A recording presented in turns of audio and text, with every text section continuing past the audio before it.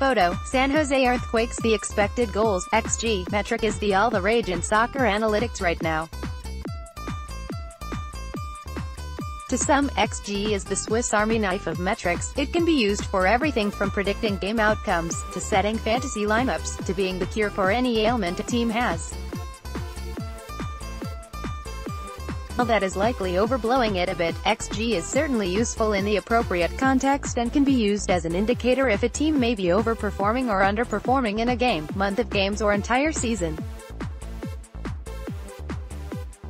In a previous article, we mentioned XG as a derived metric, not a statistic. Various analytics websites and companies have applied their own XG models on top of shot data to create XG values, and these models are being constantly improved. Of these sites, AmericanSoccerAnalysis.com, Ad Analysis Evolved on Twitter, is the one who applies their XG models to OptaShot data for MLS and shares the resulting XG values, along with much of their model methodology, with the public.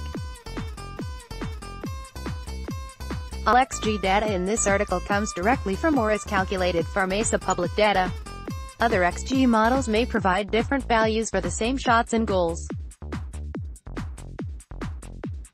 Expected team goals The 2017 Quakes were an interesting expected goals enigma. Both offensively, 39 GF, 46.6 XGF, and defensively, 58 GA, 47.1 XGA, they underperformed against XG. In fact, the Quakes' minus 18.5 goal difference when subtracting expected GD, XGD, from actual GD was the biggest underperformance in MLS.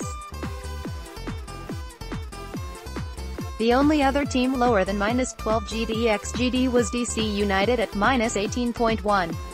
The significant XG overperforming teams in 2017 were Atlanta United at 27.6 and Toronto at 25.7. No other team was even close to them. Contrast this with the 2012 Quakes who performed at 18 goals over XGD. San Jose Earthquakes goals for, against and expected goals for, against since 2012 GF equals goals for, XGF equals expected goals for, GA equals goals against, XGA equals expected goals against, GDXGD equals goal differential minus expected goal differential. The 2018 Quakes started off the season in a somewhat different direction, actually overperforming against their expected goals for five of the first seven games before significantly underperforming against the Portland Timbers last Saturday.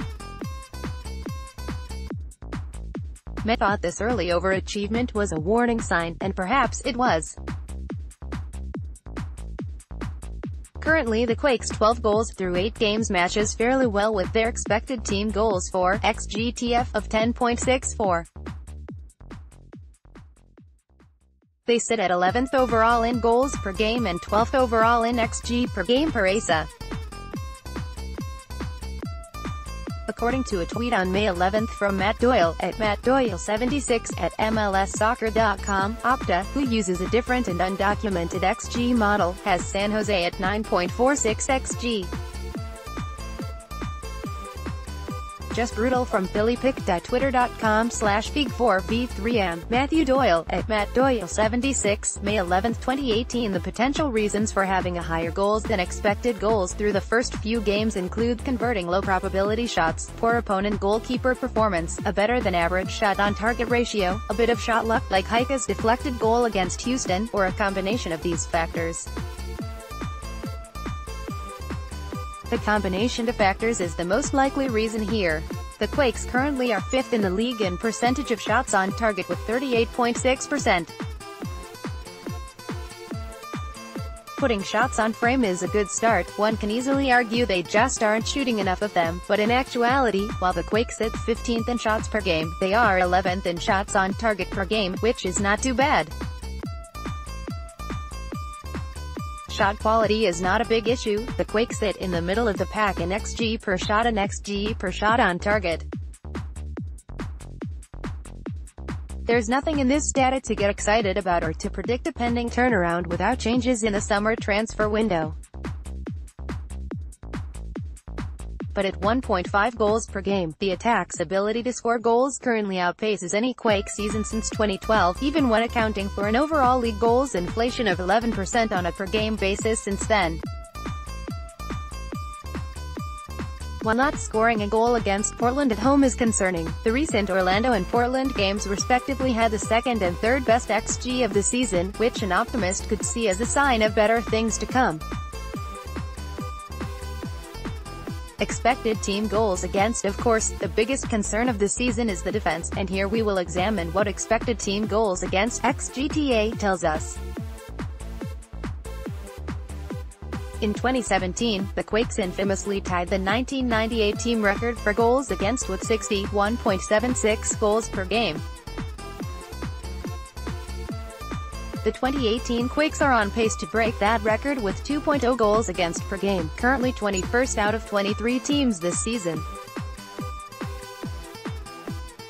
Real Salt Lake is also at 2.0 goals against per game, while Impact Montreal currently have the league's worst defense at 2.44 goals against per game. But if you were looking for the silver lining, it would be the expected goals against. The Quakes' 1.34 xGTA is 7th in the league. In other words, it is possible the Quakes have been a bit unlucky. Andrew Tarbell started off the season near the bottom in keeper XG with 7 goals against but only a 5.23 XGA, meaning he had given up one or two more goals than he probably should have given the quality of the shots. Starting with the Philadelphia Union away game Tarbell has again shown much of that same promise he displayed in last season's U.S. Open Cup, giving up 9 goals but with a 10.05 XGA in.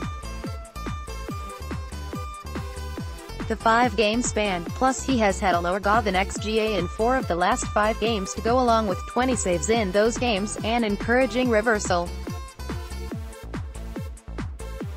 Head-to-head XG If games were determined by XG, the Earthquakes would currently have four wins and four losses.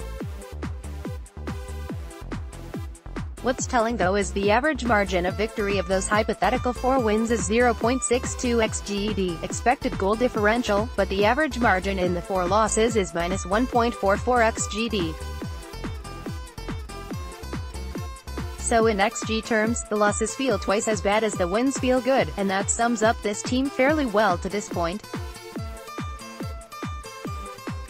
Minnesota United aside, even when they play well, the Quakes seem to barely outplay the opposition, much of the NYCFC and Portland games, but when they play poorly, the opposition looks significantly better, much of the Houston, Orlando City and Columbus games.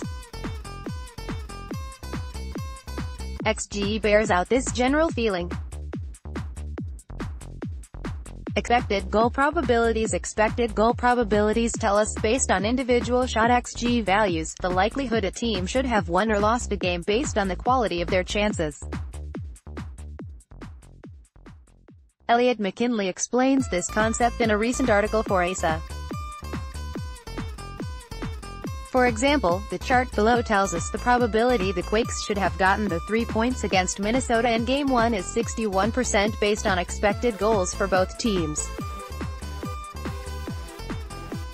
This chart for Game 8 against Portland indicates the Quakes had a 55% chance of getting a win and were quite unfortunate not to at least get a point. Goal probability charts credit to Eliot McKinley, at Kinley on Twitter, using ASA source data however, based on social media reactions during the match Earthquakes fans didn't feel good overall about the quality in the game. Note the Quakes didn't get a clear XG advantage until the 55-minute mark. Add on the Diego Valeri free kick golazo, indicated by the dot which was a low XG chance, and it just leaves a bad taste about the quality of the play, even though the end XG is reasonably good. Note by the quick upticks in the XG trend line both teams had several better chances throughout the match than the Valeri goal itself was. In these probability charts, McKinley uses XGP on the y-axis to denote he is using the aggregate of player expected goals instead of team expected goals, which are often the same but sometimes are not. Player expected goals XG at a player level is limited to essentially gauging the effectiveness at finishing chances provided to attacking players. While this provides some usefulness, when you consider the Quakes have four attackers up top who are expected to provide both goals and assists, a more useful way of looking at them would be their expected goals plus their expected assists, XA. For example, while Danny Hoesen and Valeri Vako Qazaishvili were grabbing the early headlines with actual goals and assists against Minnesota United in the first game of the season, the highest combined expected goals and assists belong to Magnus Eriksson with a 0.134 xG and 0.84 xA. This was an early indicator Eriksson was already fitting into the team and would be an asset. Indeed, Eriksson now has the most combined points on the team with 5, 2 goals and 3 assists, and also leads the team in key passes passes which end in a shot, shot on goal or goal, with 19. Minnesota United FC the 4th of March 18 game, goals, assists, key passes, XG and XA conclusion Whether you view XG as the ultimate soccer metric or just one indicator to support your viewpoint, there is no doubt it tells us something about the 2018 version of the Earthquakes. For those who wanted a change from 1 to 0 predictable Domball to something more exciting, XG tells us these Quakes may be in the highest scoring games this side of 2012.